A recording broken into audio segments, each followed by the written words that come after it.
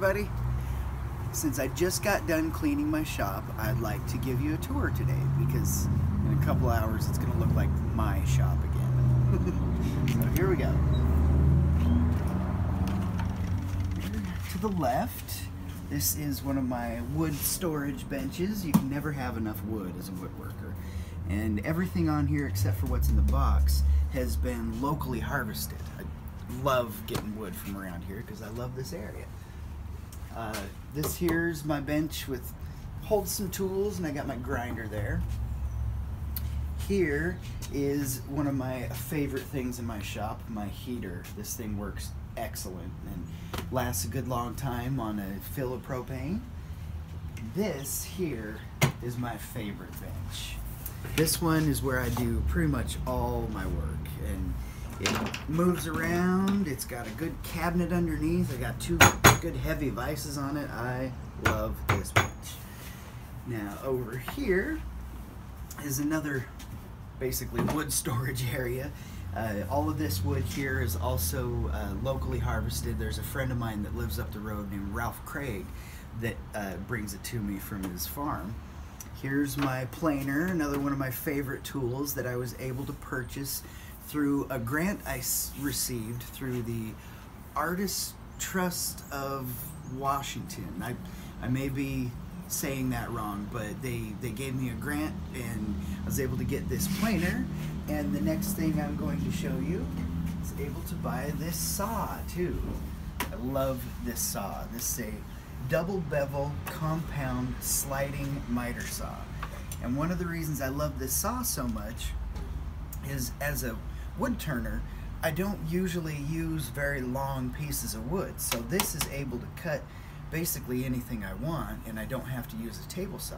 And with this one, I can put my wood on the saw, I can clamp the wood down, and then I never have to have my hands anywhere near the blade as I'm cutting. So that is a wonderful saw. This is Colonel Sanders, another one of my favorite tools, and I use this for quite a few things. I like to use it to flatten out pieces of wood that I'm about to glue together because it makes them perfectly flat for a nice joint. I also use it to prepare the rough pieces of wood I get that are locally harvested so they can be mounted to the lathe and turned into something pretty.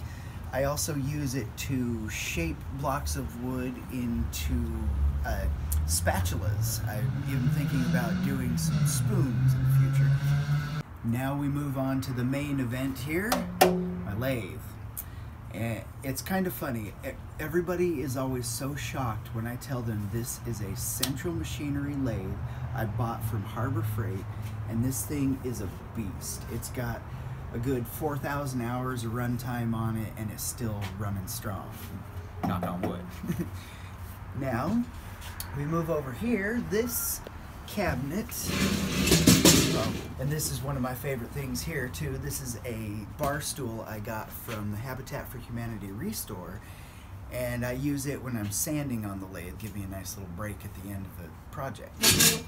Now here is one of the only dust-free zones in my whole shop is in this cabinet. Uh, this cabinet is actually uh, something I got when I was rebuilding pianos. It used to be full of piano wire and I would use it when I was restringing.